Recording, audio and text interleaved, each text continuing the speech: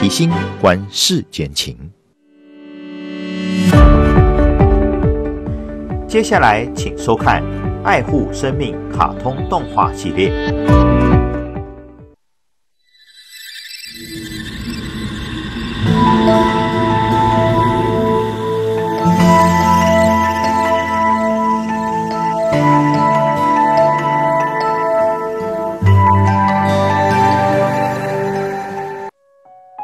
烤肉的阿林。阿林是一位建筑师，他最大的爱好便是吃烤肉，几乎每个周末都会约朋友一起吃烧烤。嗯，真是太香了！老板，再给我们烤十串羊肉。哈哈，好的，没问题。阿林，你点这么多的烧烤串，能吃得完吗？你还不了解阿玲吗？她最喜欢吃烤肉了，有多少她都能吃完的。哈哈，这么香的烤肉，谁不愿意吃啊？难道你们认为这里烤肉不好吃吗？这里烤肉的味道的确不错，不过要说最好吃的烤肉，那得是从现宰杀的羊身上割下来的，那味道和口感才是最棒的。哦，是真的吗？当然啦，以前我有个朋友叫大鹏，他也非常喜欢吃烤肉，经常叫我们去野外进行烧烤。每次他都会买一只小羊带着，然后现场宰杀进行烧烤。真的啊？什么时候介绍我认识认识这位朋友啊？下次我也参加你们的野外烧烤聚会。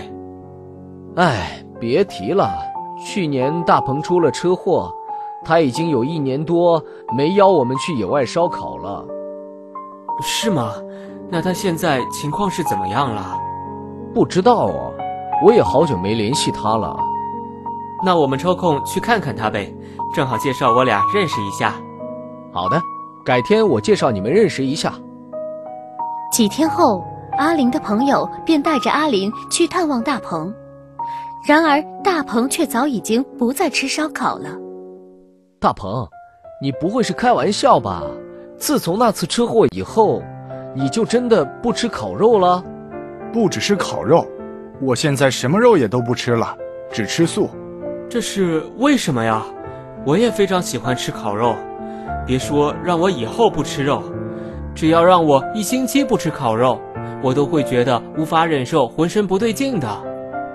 过去我也觉得自己没有办法不吃烤肉，可是。自从经历了那场车祸后，我就相信我姐的话是对的。你姐就是你那个学佛的姐姐吗？没错，就是她。你还记得吗？过去我们出去烧烤的时候，我姐姐总是百般阻挠。没错，她总是说什么我们这样为了贪图口腹之欲而杀生是要遭报应的。是啊，尤其是我，为了追求烤肉的口感和味道。每次我们出去烧烤的时候，我总会购买一只活羊，然后现杀现烤。不过说真的，现杀现烤的肉口感和味道那就是不一样。我从小就酷爱吃烤肉，但是却一直没有机会品尝一下现杀现烤的羊肉。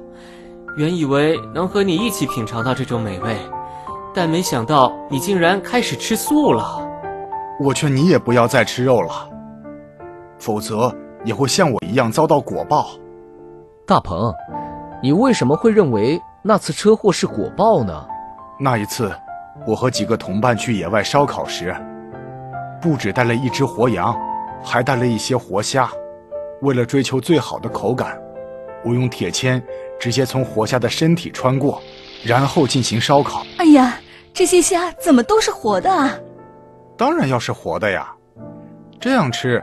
才会是最好吃的，活生生的虾被穿过铁签，然后再放到火上烤，这真是太残忍了。我就说，你不应该来参加大鹏的野外烧烤聚会嘛。一会儿杀羊的时候，你会觉着更残忍的。那只小羊真是可怜，我看还是不要杀它了吧。你不会也像我姐那样学佛了吧？要不怎么也变成了这样菩萨心肠啊？我并不信佛，只是看他可怜而已。这样吧，这只羊你就卖给我好了，别杀它了。嘿，你就不要在这里胡说八道了。我好不容易买来的羊，怎么能卖掉呢？就是嘛，这样的话，下次不带你来了。你应该跟着大鹏的姐姐去学佛才对。我看真正应该去学佛的，应该是大鹏你呀。你这样残忍杀戮，会遭报应的。那次烧烤聚会结束后，我便驾驶着车子回家。然而，当我开到一处偏僻的路段时，突然看到路上出现几只羊。哎呀，好痛啊！我的腿好痛啊！糟糕，怎么会变成这样呢？啊，这是怎么回事？糟糕，失火了！救命啊！救命啊！救命啊！快来救我呀！幸运的是，很快便有人发现了我，并将我从车里救了出来。直到现在，我也忘不了那时的痛苦和绝望。我就像是被穿在铁签上的那些虾一样，等待着被火烧死、烤熟。当时你看到的路上的那些羊，究竟是怎么回事呢？后来。我姐说那是被我杀掉那些羊的冤魂在向我索命，而且这次我之所以能活下来，多亏了我姐。这些年她一直在佛前替我赎罪忏悔，而且就在我出事的时候，她似乎在冥冥中感觉到了什么，于是，在佛前许愿，一定会让我痛改前非，希望菩萨给我个机会。所以你从那以后就开始吃素学佛了？是的，没错。之后，我就连一口肉都没吃了。然而，大鹏的故事并没有让阿林放弃吃烤肉的嗜好，而且他也开始买来烧烤炉，自己进行烧烤。这几天的进度真快啊，阿林，按照现在的进度，三个月就可以竣工了吧？是啊，最近我们因为这个工程忙得焦头烂额。现在终于可以松一口气了。我们明天来一次烧烤聚会，怎么样？好啊，好啊！哎，阿林，你烤肉的手艺非常棒，上一次我都没吃过瘾呢。这一次我会让你们吃一顿更美味的烤肉。我决定啊，去买一只活羊，到时候我们现杀现烤。太好了，我真的非常期待明天的烧烤羊肉。阿林。你怎么也学着跟大鹏一样了？难道你忘记他遭到的报应吗？怎么，你还真相信大鹏那是遭到报应吗？我觉得那只不过是个巧合罢了。还是现杀现烤的羊肉美味啊！阿林，你说的没错，这种烤肉口感和味道都非常棒。我们下次出来聚会的时候啊。还要买一只羊带着。我现在杀羊的技术是越来越好了，简直可以当屠夫了。阿林，等这个工程完工后，我们再来一次烤全羊，怎么样？嗯，没问题的。你怎么不吃烤羊肉了？不知道为什么，今天我看到你杀完这只羊后，胃就开始痛了，一口羊肉也吃不下去。这是你没口福，你不吃，那我们就全都吃了。杀生是严重的罪业，绝不会因为你不懂佛法而不遭报应。阿林他已经从大鹏身上得知了果报的厉害，但他却丝毫不信。很快，果报便降临到了他身上。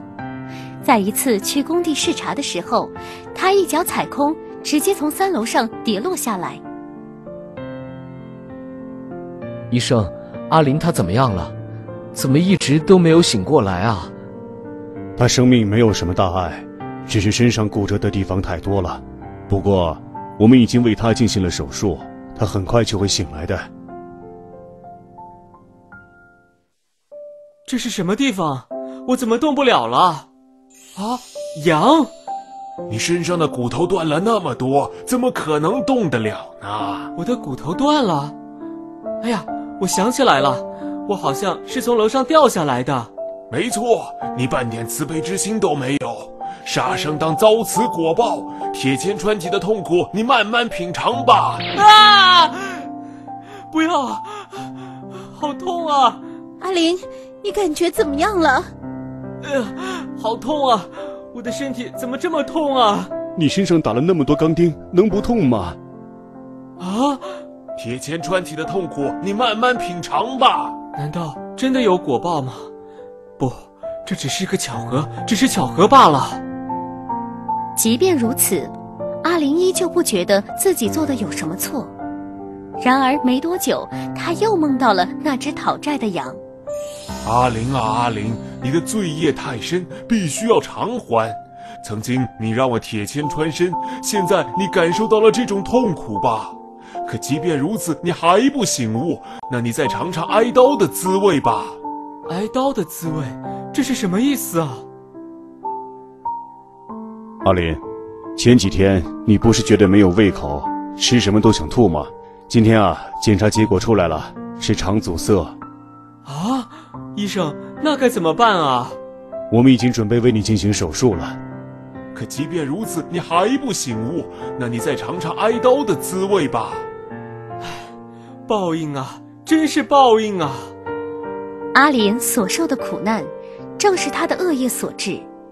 明白了这一切的他，于是决定痛改前非，并且也开始吃素学佛、放生护生。正可谓假使经百劫，所作业不亡；因缘会遇时，果报还自受。跳火圈的老虎，亚瑟是一只三岁的年轻老虎，它聪明伶俐。到马戏团只有半年多，就学会了高台跳跃、走跷跷板，非常的受到观众的欢迎。比尔，亚瑟真是太聪明了，不管什么表演，他一学就会。是啊，所以我想让他学习表演跳火圈。啊，这个会不会太难了点？要知道，野兽天生都怕火，想要让老虎从火圈中跳过去。那可不是件容易的事。据说，十只老虎里最多也只有一只能胜任这个表演。没错，所以这个表演才会非常受欢迎。要知道，很多有名的马戏团都有这个节目。如果亚瑟也能表演跳火圈的话，那一定会大大提高我们的售票率的。好吧，就让亚瑟试试吧，或许他真的能成为我们马戏团的大明星呢。训练动物一般都采用食物引诱法，在饥饿的催逼下，动物会变得十分听话。为了训练这只老虎，驯兽员把它关在笼子里，饿了整整一天。老板，亚瑟已经饿了一天了，如果他想吃到自己最喜欢的食物，那就只能克服对火的恐惧，从这里跳过去。凯文，亚瑟那么聪明。他一定能办到的。会不会跳火圈和聪明没什么关系，这是要靠胆量的。老虎难道还有胆小的吗？当然有啊，就像我们有的人会有惧高症，老虎也不是每只都胆大包天。如果亚瑟会怕火的话，那他就永远无法完成这个节目。不管怎么样，试试看就知道了。嗯，好的。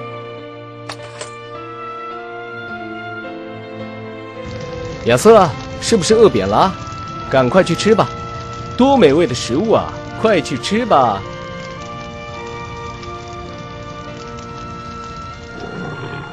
亚瑟，跳过去，从那里跳过去，你就能吃到食物了。快跳过去啊！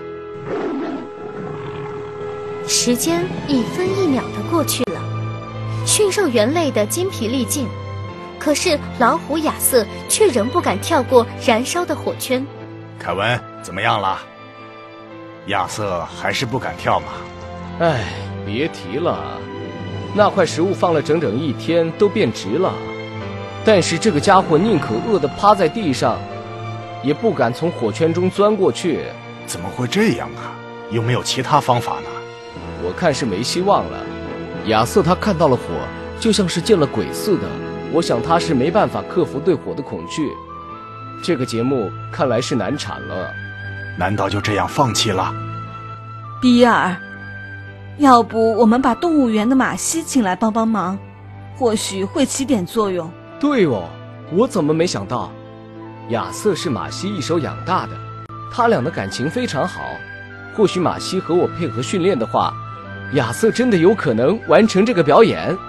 是呀，很多驯兽师和饲养员一起训练动物，都达到非常好的训练效果，所以我才有这个想法。嗯，那我马上去把马西找来。然而，马西已经不在私人动物园工作了。马戏团老板费了好大的力气才找到他。当老虎亚瑟一见到马西，立刻亲热的不得了，乖的就像一只大猫。亚瑟，好久不见，你长这么大了，已经变成年轻小伙子喽。这真像一对母子啊！是啊，真没想到他俩的感情这么深。看样子亚瑟应该能够跳过火圈了吧？让我们来试试吧。亚瑟，过来啊，到我这里来。亚瑟，我的宝贝，为了我，你就跳一次嘛。唉，看来他是真的没法表演这个节目了。真的一点办法都没有了吗？等等，我想到个方法，也许能让亚瑟跳过火圈。哦，什么方法？我哭的话，说不定他会跳过火圈到我身边来。啊？为什么呢？这事还得从我在动物园工作时说起。我的丈夫好赌，又是个酒鬼，他经常喝醉了以后来找我要钱去赌博。快把钱给我！我哪里还有钱啊？你又喝酒了，又要去赌博，钱都被你花光了。我的事不要你管，给我钱就好。我没钱，即使有钱也不会给你。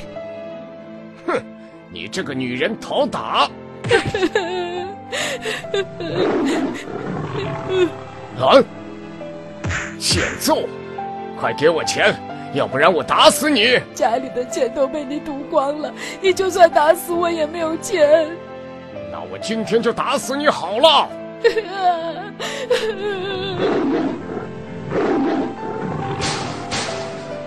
啊！这这老虎疯了！危险，还是快跑的好。为了保护我，亚瑟他撞得浑身是伤。我真没想到他竟然会这样不顾一切地撞击这铁笼，哪怕自己已经被铁丝割得伤痕累累。这么说，你哭的话，亚瑟也许会不顾一切的跳过火圈。嗯，我才有可能吧。好，那就试试看再说吧。马西的哭声一起，不可思议的事情发生了。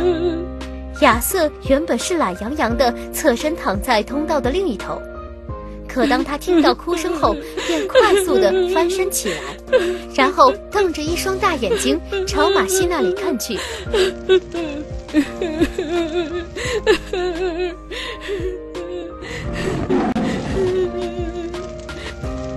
哇，他真的跳过去了！太棒了，我们就这样训练他。亚瑟会成为我们马戏团最优秀的动物明星的。只要一听到马西的哭声，老虎亚瑟便会勇敢地跳过火圈。因此，马戏团老板决定在舞台上搭建一个屏风，表演这个节目的时候，让马西躲在屏风后面哭。我决定今天正式由马西和老虎配合表演跳火圈。哎，不过马戏团的成本又要增加了。不就是找个人哭吗？干嘛非得花钱让他来哭？马戏团内人多着呢，随便找个人来哭不就得了？对呀，我们有那么多女演员，让他们来哭就行了，这样还能省下一个人的薪水呢。这样行得通吗？怎么会行不通？不过是哭几声嘛，谁哭不是哭啊？找几个人来试一下，只要能达到同样的效果，那就让马西走，我们也不必花那冤枉钱了。就这样，马戏团老板找来了几个女演员，然后让他们躲在屏风后面，呜呜地哭了起来。大声哭，再哭大声一点。这是怎么回事？难道真的只有马西的哭声才对他有作用？我看老虎听得出来，他们都是假哭，所以才会没有反应。嗯，有可能。你们不要假哭，要真哭，哭出感情来。想想你们遇过的伤心事，对，就是这样，哭出感情来。女演员们哭得涕泗纵横，凄凄惨惨，可是亚瑟却仍无动于衷。他躺在地上，伸了个懒腰，竟然打起了瞌睡来。哎，停止吧，不用哭了。看来你们的哭声无法让他跳过火圈。算了，还是让马戏来试试吧。我这就去把他请来。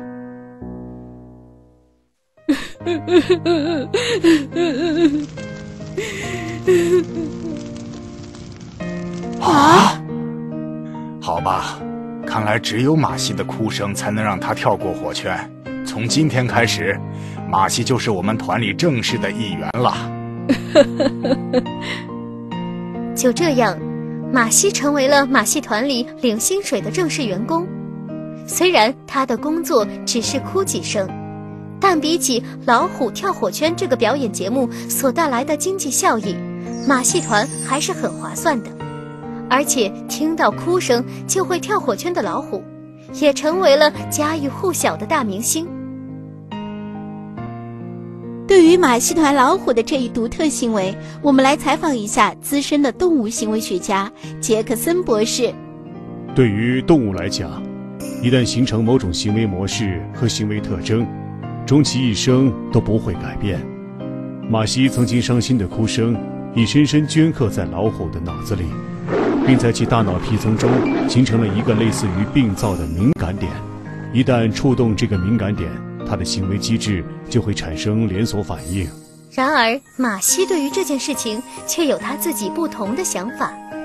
亚瑟，他是只体贴人心的老虎，他知道我孤身一人生活辛苦。所以用这种方式来报答我对他的照顾之情。要知道，自从离开动物园后，我就没有固定的收入来源。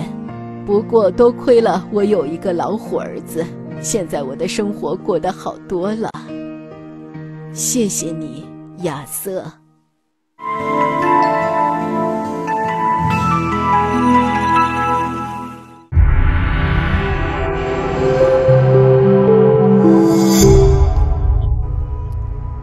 佛教慈悲置业基金会以宣扬佛陀正法、培育优秀僧才、积极社会公益为职志。二十多年来，借由各项法务推广宣扬佛法慈悲智慧，如全省各中心的成立，让信众有学习佛法的道场，实践了弘扬佛法教育的功能性。尤其印证佛经法宝结缘，让大众接触佛法。明白因果业报观念，才能断恶修善，改善命运。所有的方便法门，都是为了引导现代人认识佛教、学习佛法，才能离苦得乐。这是慈悲置业的长期以来的使命。为了护持佛法永续，利益更多众生，佛教慈悲置业基金会邀您继续护持。共同推动慈悲置业的各项会务，让佛法甘露遍洒各地，润泽群生。护持邮局划拨账号：五零四四四四六八，五零四四四四六八。户名：财团法人佛教慈悲置业基金会。佛教慈悲置业基金会总管理处。地址：宜兰县三星乡三星路二段二十号，电话：零三九八九九三一九，零三九八九九三一九，传真：零三九八九八七八七，零三九八九八七八七。佛教慈悲置业花莲分会三月共修法训，三月五日周日下午一点三十分，礼拜八十八佛洪明宝忏。三月十一日、三月二十五日周六下午一点三十分，恭送地藏菩萨本愿经，点灯供水、药供及甘露施食，恭请常住法师主法领众。地点花莲中心，花莲市建国路一百六十号，电话零三八三一一六七三零三八三一一六七三。敬请与会菩萨全程配合防疫保护措施。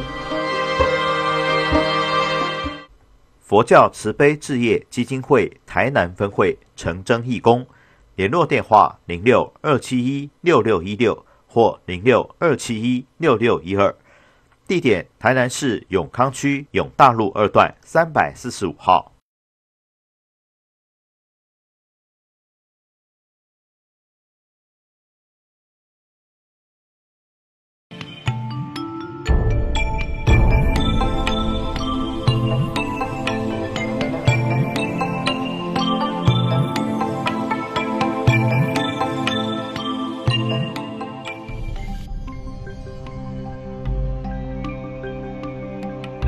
佛一教经中，入灭前的佛陀三问弟子：“汝等若于苦等四地有所疑者，可即问之，无得怀疑，不求觉也。”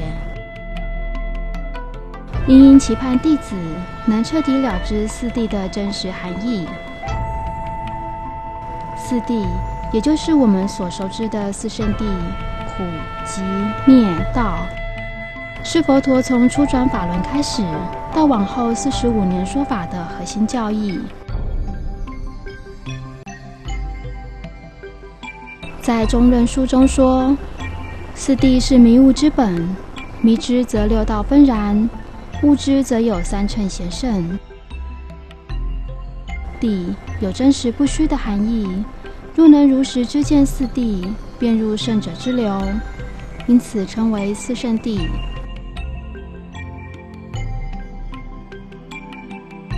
苦泛指贪嗔痴烦恼苦，以及生老病死和三恶道的苦，这是苦果；即是苦集之因，这是由于不了解因果流转而造作种种与烦恼相应的行为，因而积集种种业力。灭是不受烦恼支配，了断生死的束缚，这是苦灭后的心境，也是乐果。道是灭苦的修行之道。概括而言，是以戒定慧三无漏学为根本，是属于乐因。知苦断集，木灭修道。佛陀先说苦地，将苦果放在前面，是为了让弟子们能知苦而生厌离，发愿不再造作恶法，即永断疾苦的因。要断离受苦，有断苦的方法。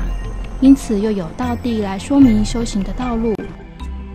而佛陀先说涅盘极尽的灭地，使人生起对乐的向往，进而发起离苦向道的心。苦因知，即因断；灭因正，道因修。简单来看，四圣谛即是解行并重的断苦向乐之道。